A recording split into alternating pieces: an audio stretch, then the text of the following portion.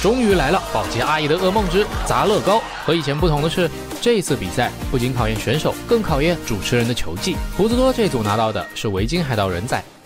Our story is that we have a quiet little Viking village。海盗村庄门口的摇铃人正在睡觉，村民们照常生活，谁都没意识到一颗巨大的保龄球炮弹即将摧毁他们的家园。这个主题难就难在既不能建得太结实，又不能太脆，这对手劲儿是个很大的考验。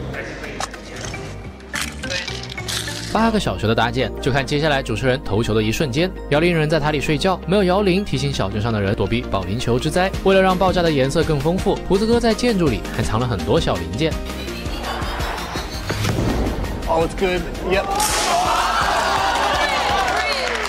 保龄球完美的砸进了正中间，水与火的零件飞了出来。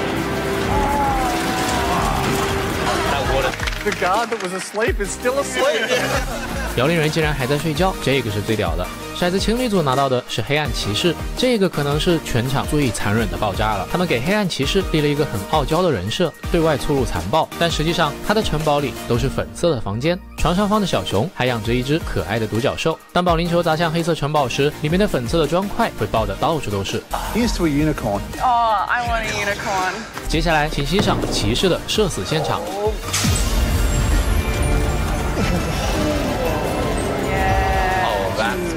I mean, there's no doubt about that.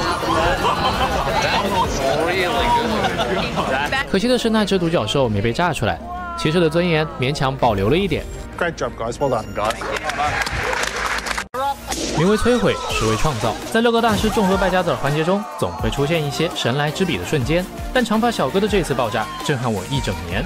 长发小哥建了个中世纪城堡，他们准备做一个会预测未来的巫师，他要阻止即将飞来的保龄球陨石。小哥俩很机智的在地形上动了手脚，We've built the uh, terrain up with height to just kind of launch this bowling ball. 用斜坡来引导不可控的保龄球，妙啊！于是他俩开始为这个绝妙的创意搬砖。Literally, the tortoise and the hare.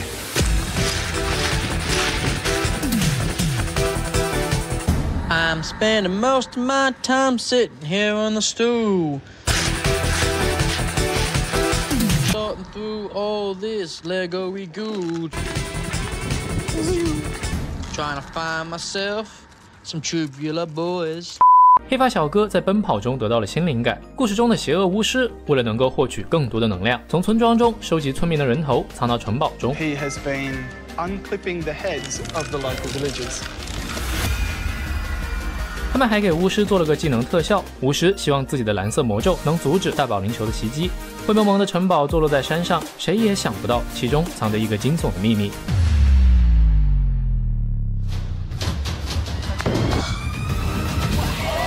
斜坡真的让保龄球飞了起来，一瞬间颜色被撞击释放，从昏暗的黑灰色到突然的一抹黄色。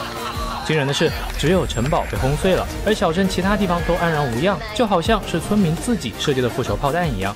我认为这个作品是历届破坏主题里最优秀的一个，九分实力，一分运气，不愧是长发组二代目。厄运组拿到的是海盗主题，妹子计划做一个弧形的六角形堡垒，海盗们凯旋归来，正准备庆祝掠夺的胜利，他们使用了一种非法拼搭的手段来搭墙，There's actually a remarkable amount of flex in them.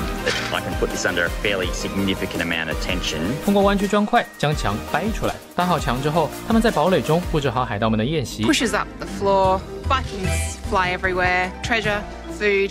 对称的六角形城堡俯视下去，美学效果满分。六边形的弧形墙中间是用四分之一圆弧砖组成的圆柱形堡垒，用人仔和小零件布景宴会。即使搭出来就是为了被击碎，厄运组也加入了小彩蛋，比如这个正在上厕所的男人。I mean, if the whole thing goes and it's like the guy in the in the outback toilet reading the newspaper and the whole thing blows away, 希望这一次厄运组能摆脱厄。呃，主持人不幸手滑扔歪了。curse that curse. Honestly, Hey, Mish. basically hit nothing but toilet guy. 只好再补一球。海盗们正在准备庆功宴，这时一个巨大的保龄球炮弹从天而降，直接开袭。厄运组强的设计独具匠心，但因为太坚固了，还是个圆形，适得其反的影响了保龄球的轨迹。虽然最后的效果很漂亮，但还是有点可惜了。妈妈组抽到的是斯巴达，他们准备搭一个斯巴达猛男站在城门前，身后的大楼里塞满了战马。因为老公是斯巴达文化爱好者，所以热心的主持人特意给了一次场外连线的机会。not long. Um, tell me about Spartan architecture. Like, Mate, she's got eight hours. She can't build a senate. I Something know it. small. Something. what is the word that comes to your mind when you think of Sparta? so mean. 失去了友军辅助，不了解斯巴达的妈妈组只能靠感觉搭建。故事差点意思，没事儿，反正只要零件到的多，效果肯定没得说。 Horses. There's no horses. 妈妈组将零件屋的马一扫而光，想要保龄球撞出人仰马翻的镜头。不过这斯巴达怎么看着这么眼熟呢？零件分两边放，估计也是看穿主持人的球技了。保龄球直奔右侧的零件箱，斯巴达因为太结实没有裂开，还在空中转了一圈。颜色的爆发很有冲击力，总的来说是效果大于技术了。同时拿到斯巴达主题的还有这组小哥，他们做的是希腊神庙，九头蛇冲破屋顶，嘴里叼着宙斯。这小哥俩就比较实诚了，几乎没往里堆什么零件。宙斯被成功解救，同时获得自由的还有一只旋转机。What's that? A chicken?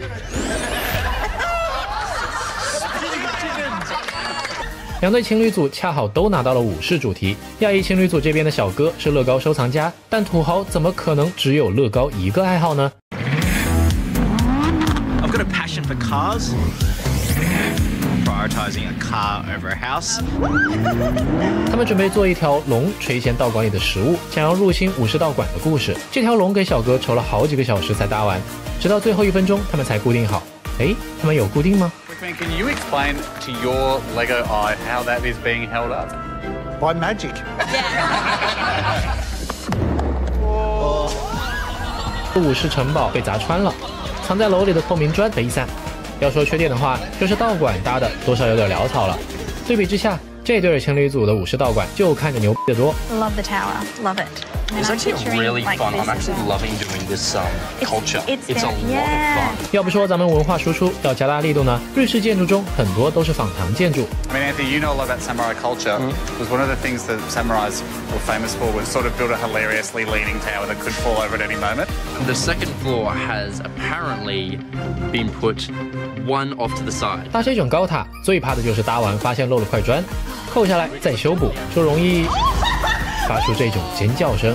作为场上唯一竖着放的建筑，不知道爆破效果怎么样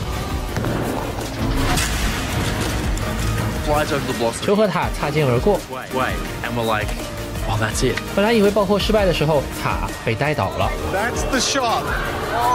Right there.